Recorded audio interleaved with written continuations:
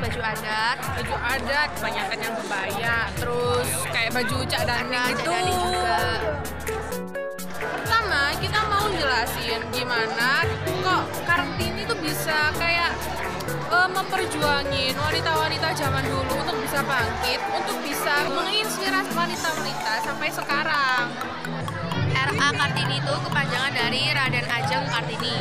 Nah, beliau itu lahir pada tanggal 21 April la- 1879 di Jepara.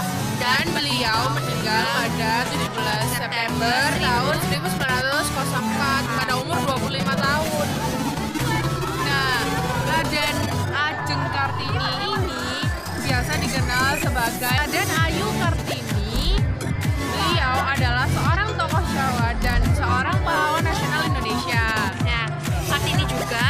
sebagai pelopor kebang- kebangkitan perempuan pribumi.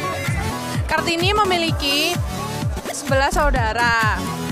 Kartini merupakan anak kelima dari 11 saudara. Nah, dan itu juga merupakan terdiri dari saudara kandung dan saudara tiri. Kakak-kakak dari eh, ibu kita Kartini ini, mereka sering dijodohkan oleh orang tuanya. Nah, sebelum menikah, mereka itu pasti harus dipingin terlebih dahulu. Nah, tetapi ibu kita Kartini ini berbeda dengan kakak-kakaknya. Yang biasanya kakak-kakaknya itu mau untuk Dijodohin. dijodohkan itu dan nggak nolak. Tetapi Tapi ibu kita Kartini ini memilih untuk nolak. Ibu kita Kartini ini memilih untuk bebas dari kekangan orang tuanya. Nggak mau dikekang, udah Nggak mau mau, nggak mau di- dijodohin pokoknya nggak mau di, nggak mau lah, nggak mau. Wanita-wanita pada zaman itu eh, terinspirasi untuk untuk berani menolak eh, pingitan atau apa segala macam yang merasa mereka terkekang. Sampai sekarang Keliling-keliling, kita akan menanyain anak-anak apakah mereka tahu tentang sejarahnya Kartini. Yuk, kita cari anak-anaknya.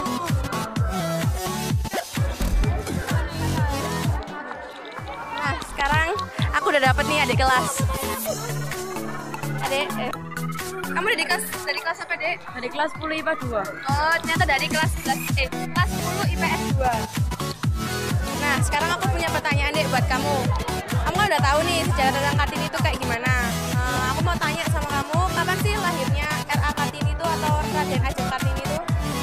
Tanggal 21 April tahun 1879. Ya. Nah, kita mau eh aku mau nyari eh, nyari anak lagi buat ditanya-tanya ini. Mau ditanyain, kamu dari kamu namanya siapa? Dari kelas mana? Aku namanya Anggira Pratiwi dari kelas 10 IPS 1. Oh, dari PS1 ya. Eh, sekarang kan lagi peringatan Kartini ya. Terus kamu tahu nggak sih sejarahnya Kartini itu eh, dia beliau itu lahir di mana? Eh, Kartini itu lahirnya di Jepara. Eh, murid selanjutnya udah kita udah dapetin buat ditanya-tanyain. Perkenalan dulu dong, nama kamu siapa dari kelas mana? Jalasana Sri Putri dari kelas 11 IPA 3. Tiga. Pertanyaan apa Kak Rasi? Nah, sekarang aku mau tanya, ini benar apa salah bahwa Kartini itu dikenal sebagai pelopor kebangkitan perempuan pribumi? Ya, benar. Nah, ternyata jawaban Jala benar bahwa Kartini itu dikenal sebagai pelopor kebangkitan perempuan pribumi.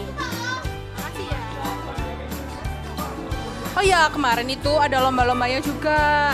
Yang pertama, ada joget balon. Nah, waktu lomba lo- joget balon ini kita loh yang Kita main. main. Terus yang Wakil kelas kedua, kita IPS 1. Ya Yang- kamu ngapain? Terus habis itu kedua. dua ada lempar bola, ada lempar bola.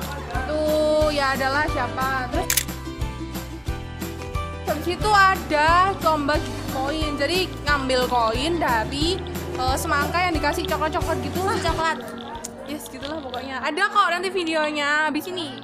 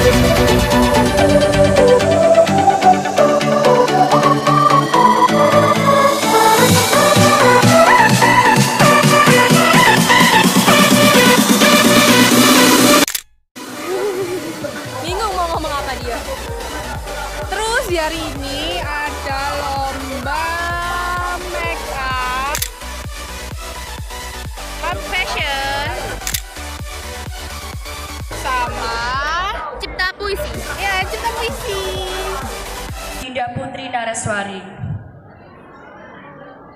Seumpama embun pagi, kasihmu tak akan pernah mati. Eh, aku lapar. Udah kita mau beli makanan. Ini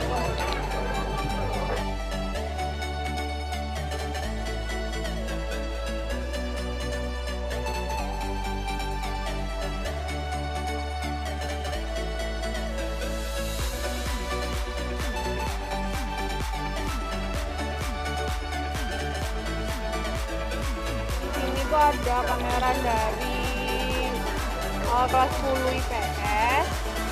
Oh, pameran seni budaya gitu.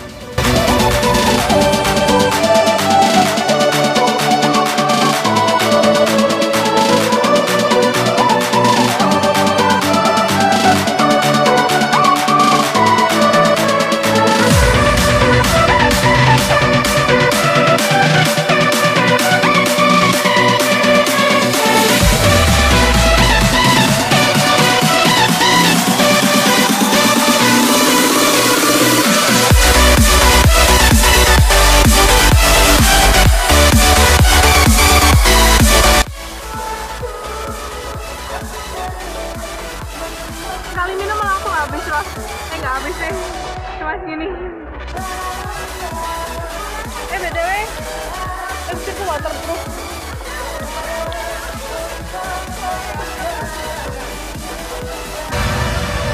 Ini cuma ikut-ikut.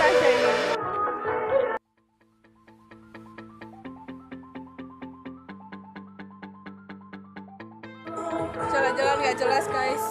Sekarang aku lagi sama dia, dia. Tiga iku ya Allah. Lah oh. Iku pengen jurusan sejarah. Bejo-bejoan lah.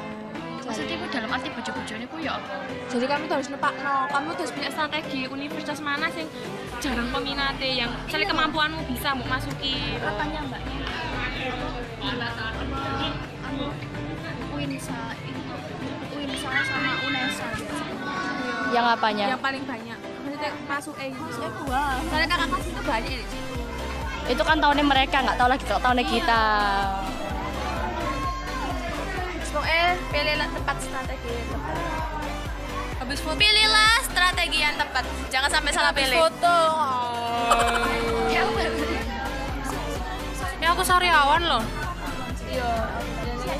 Lagi Jamin. 50 antara apa? Se ini sekolah Pokoknya kita habis foto dan ini fotonya. Hai, sekian dari vlog kami.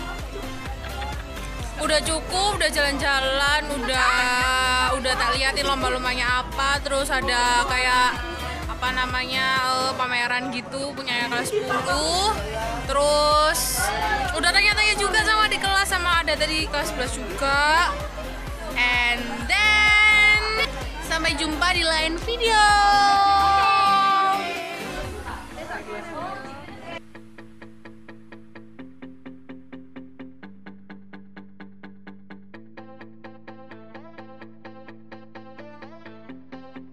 Nah, Kartini memiliki eh berapa saudara ya? Empat atau tiga? Ya, Kartini, Kartini memiliki 11 bersaudara. Nah, dari kakak-kakak eh Kartini, awak ibu ikut